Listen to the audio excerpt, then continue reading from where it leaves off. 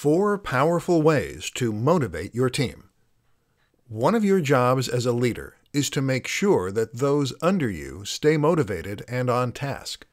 You need to help light the fire and the passion beneath them in order to get them to work harder and faster and to deliver their best. In this presentation, we'll discuss four powerful ways you can do that. 1.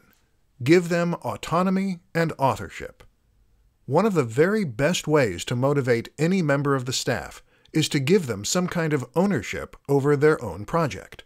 This should be something that gives them creative license to complete the work as they see fit, but it should also have their name attached to it, so that they can proudly claim what they have done as their own. This makes an important cognitive shift and is very different from being a nameless cog in a machine. Help your team to feel proud of the work they're doing. 2. Show your passion. If you are someone who leads from above, but is constantly complaining and undermining the work you have to do, then you're going to lose the enthusiasm of your team fast. Instead, you need to make sure that you are passionate about what you are doing and that you truly care. And you need to find ways to communicate that fact to your team. Passion and enthusiasm are highly contagious. Once you get the bug, it will spread. 3. Explain the why. Stop telling your team what to do and start telling them why. When you tell someone why they need to do something, it helps them to understand what the end result needs to be.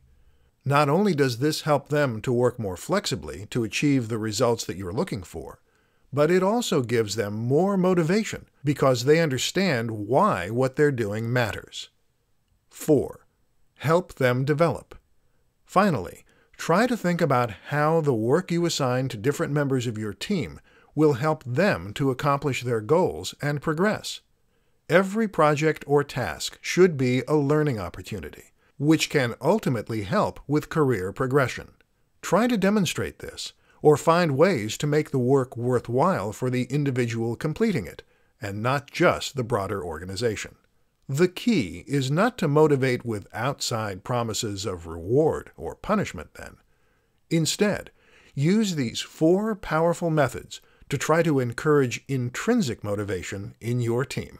For more free educational content, visit learnforfree.biz. Content produced and distributed by AllSuperInfo.